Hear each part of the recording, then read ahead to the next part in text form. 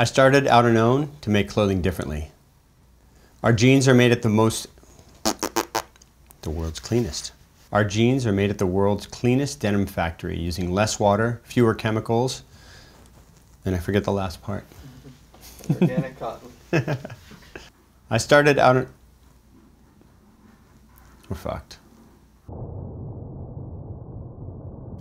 I started Outerknown to make clothing differently.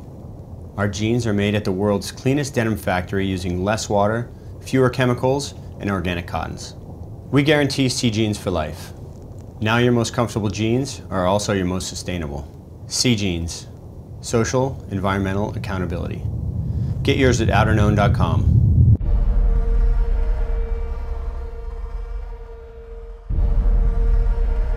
Imagine if your life was a movie, you were directing it.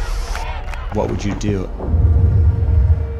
After all this time, three decades of professional surfing, You Erase that footage from yesterday. walking through all these different walks of life, I almost want people to experience this story that I've had. Watch this left right here. Tomorrow, it literally could have the waves of the year.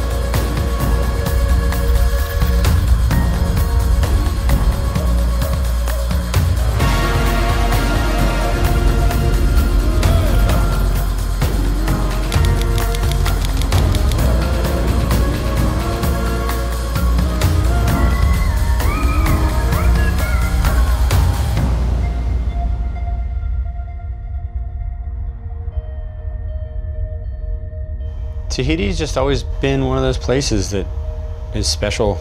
It's at the top of a surfer's list of place to go and but it's just an intense place. You feel that energy, the big huge valleys in the background and the mist in the air and and the sound of the waves breaking.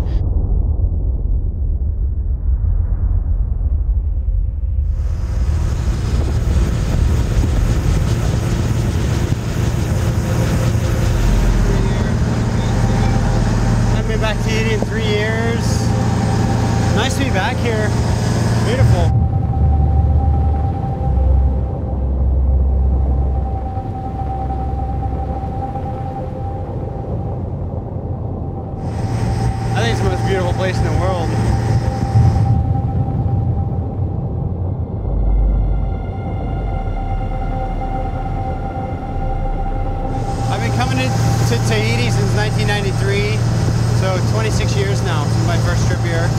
I actually surfed Chopo back then too. No one really surfed here, and they brought us out here and said, "Oh, a couple guys have surfed this wave. It's like it's super gnarly when it's big." The event has been held since about 98 and it was a qualifying event at first and then it became a world tour event and we didn't actually even know at that time whether you could surf it. Guys had seen it really giant and scary but figured that it was too gnarly to surf and then and there was one day in the contest when it got just crazy huge and guys were like really going for it and got to see that this is a wave like no other. You pull up, look we're 40 yards away from Wade Carmichael taking off on one right now. Ones that break further out aren't as gnarly as the ones that miss it and move inside. and They get really square and gnarly.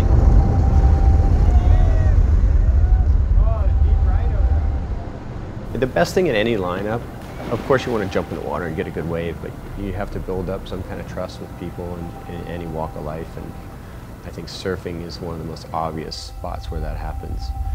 And at Chopo, you, you have to be comfortable with all that energy, the danger of getting hurt. Honestly, most of the bad injuries happen on small days because the reef's so shallow then.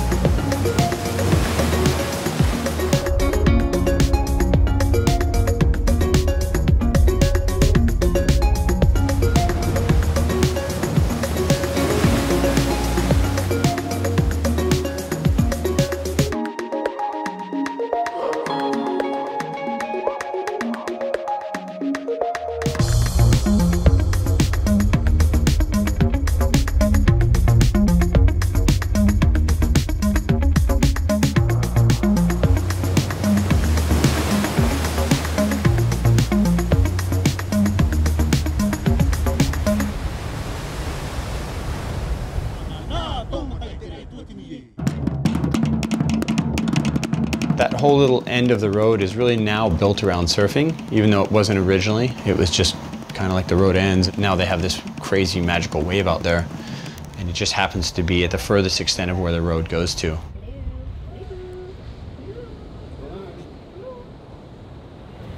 Two thousand, oh three, oh five, eleven, sixteen.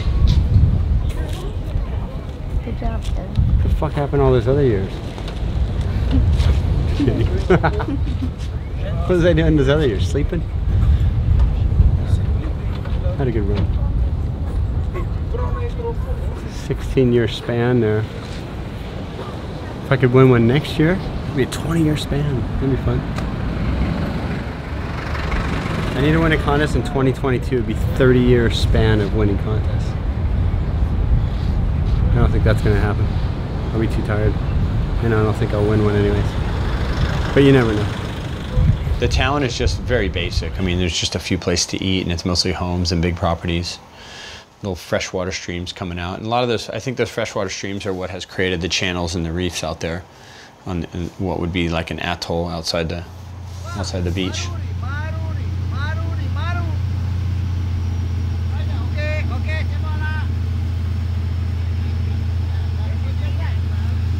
I would consider Raimana like family.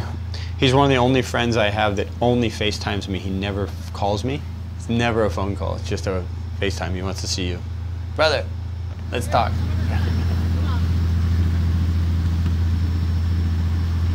Raimana is like an unspoken mayor of Chopo. I mean, Chopo is his world uh, in the water. I'm sure they have a mayor on land, but he's not concerned about that too much. It's funny because Raimana is so chill and kick back, but he's also intense. Papa, you okay now? Where can I hug? You can't hug. No, no, no. Don't touch So the sorry. back. Bro, that wave was amazing. Thank you. I know you got another one, but the one I shot, yeah. The one that I think your angle. Merci, merci. Patron. I was just looking at my boy going, get out. You looked like you were cruising out, and all of a sudden the wave said, no, come this way and get slammed by two houses and go to the hospital. This wave's gnarly, dude. You have to, when you come out of those tow-ins, you gotta go up, huh? You have to- I tried. You have to, like I saw the video from the beach, like from the, Oh, my angle, bro. Come on. Angle. what, looking down at it? His angle. A little bit. I was on the double decker of Cindy's boat, Matahi's boat. I was so small next to it. I was like, ooh, better make it bigger.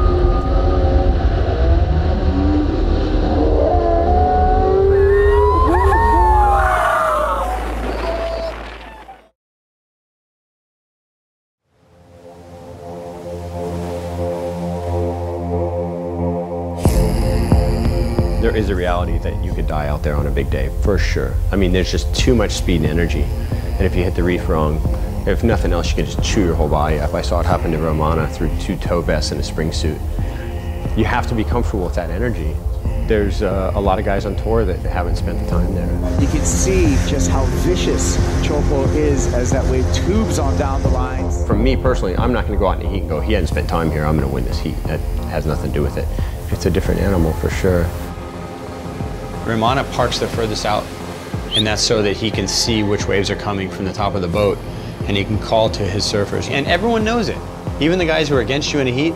And there's certain whistles that mean a certain thing, and and and he expects you to have put the time in so that you understand where on the reef he's trying to tell you to go. You've got to get super deep. They're too quick. The Yeah. ones are too Too quick. Over. That's exactly right. You've got to get those mid-sized ones to get the chip in. The difference between a nine and a five five is like two feet. Yeah, exactly. Clock's just started for the final heat of this round of 32. Kelly Slater versus Jack Freestone. Slater deep on the reef. Pulls in, comes through that first section, no problem for Kelly Slater. A mere mortal surfer would have no chance at that barrel, but Kelly Slater making it look easy in challenging conditions. Jack Freestone's opening up his account against Kelly Slater in a nice roomy barrel. and he likes it as well. no hands, pulled straight in. That was a beautiful way from Jack Freestone. Looking at the 6-5 for Kelly Slater, got to be better than that, I would think.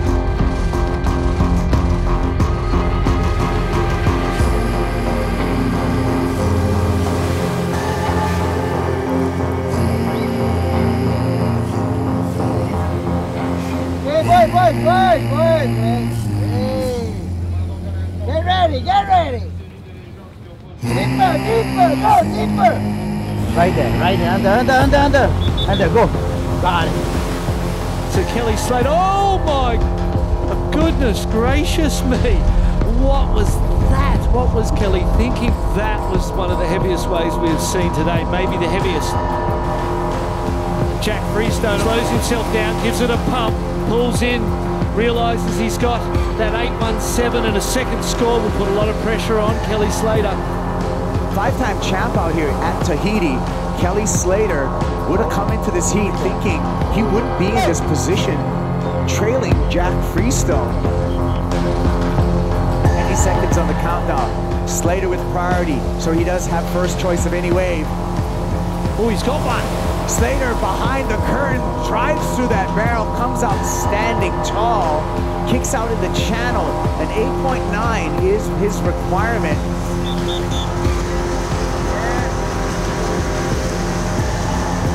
Jack uh, backdoor this section comes flying through the corner here, and uh, well, he's got Slater against the rope. The horn sounds, and it is Jack Freestone disposing of the five-time Tahiti Pro champ Kelly Slater, and Jack Freestone moves on into the round of 16.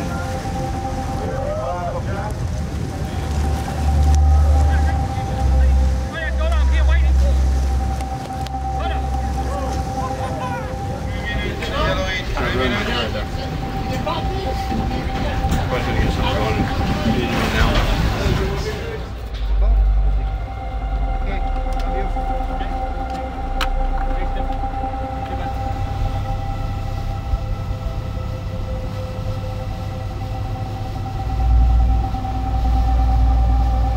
nailed it for him.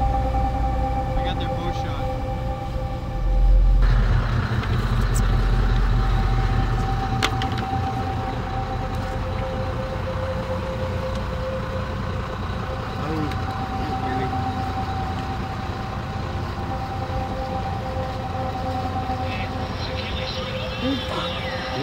It. What, you, Silly. you think you have made it? No.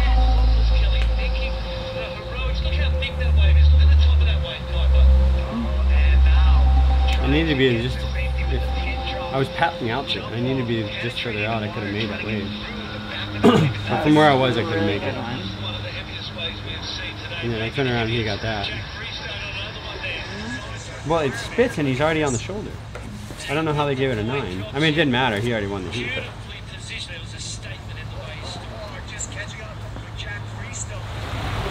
I feel less pressure when I'm against somebody I expect's going to do good, you know?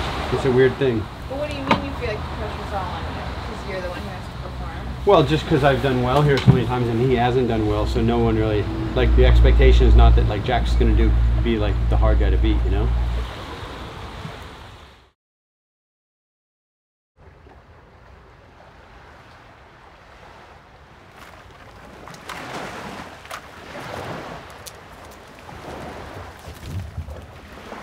Sort of feel the same way I did after the first contest this year right now, which is kind of funny because I know I got out of that pretty quickly and started relaxing and enjoying myself.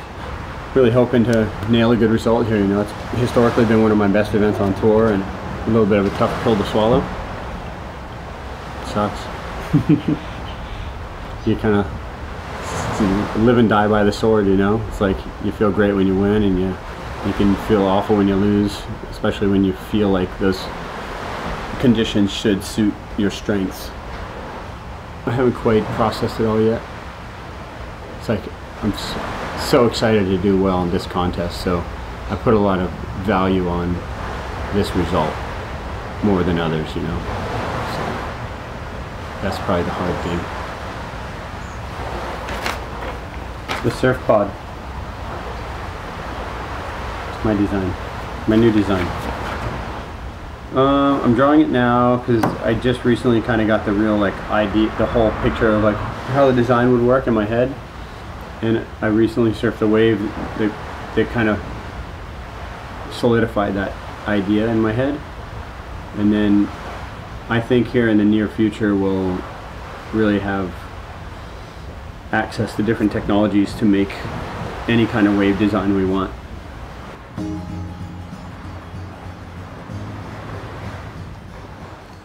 I started Outerknown to make clothing differently. Our jeans are made at the most, the world's cleanest. Let me start from the, a little bit of the history. Is we, we didn't start off at Outerknown making any denim, any jeans, because it's really dirty. So we found a place in Vietnam that is the, the cleanest denim maker in the world. And I just had this idea, let's just surf in jeans, and it kind of represents the clean water. You know, it's sort of a symbol of that. That's the message we were trying to get across. So I just thought, yeah, I can just surf in jeans and get a nice barrel or something. So we filmed a whole bunch of stuff underwater. We were concerned that we wouldn't be able to get the shot because there's always so many people at Chopu and so many cameras, and especially any day the waves are gonna be good. So we didn't have the footage we needed, even close to what we needed to try and finish this commercial for Outerknown.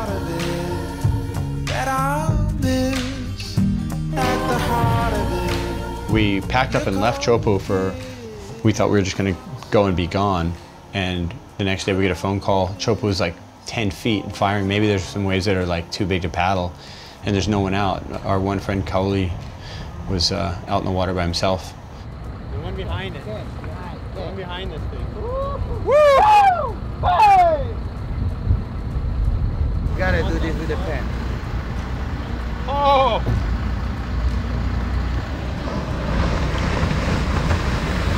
You gotta do this with the pen, brother. Oh. I think it's uh, it's gonna be eight solid foot right now for Kelly. Look, three, two guys out, two guys out, and I think Kelly's gonna score. So all I know, it's Kelly's day. It was, it was last couple of days was a WSL day. It's Kelly's day.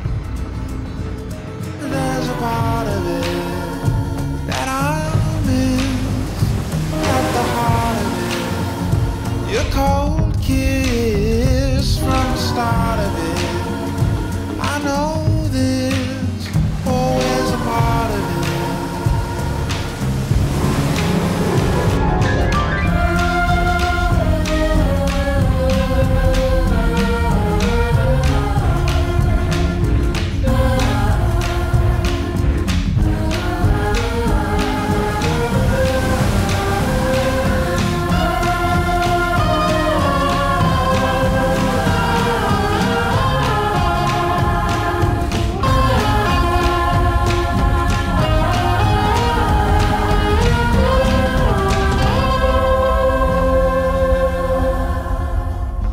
Those things it was meant to be. It wasn't the sunniest, most perfect day, but you know, the wave that I got, a little tow in on a, you know, like an eight foot wave at Chopua with a, just a, it was perfect. Just really perfect day. So I don't think it could have been much better than that. But it's nice and open, like good direction. Wind is perfect. Where'd everyone go? I don't ever want home. it's kind of crazy. The deep one.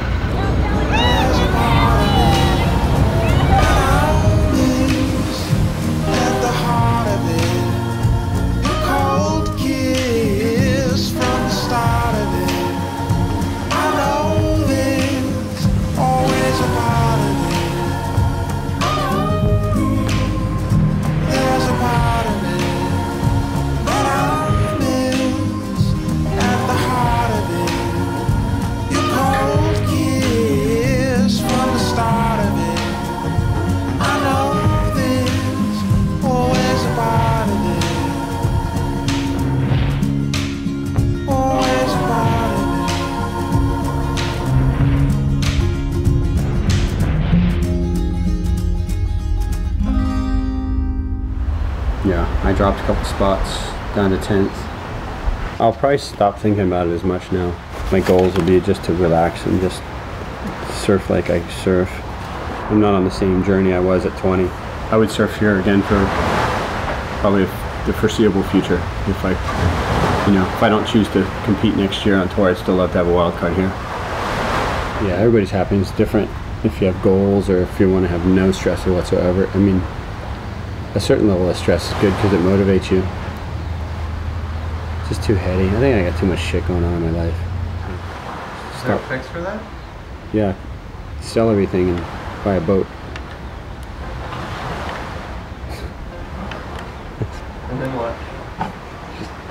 Just Sail around Tahiti and get really good waves for a couple of years.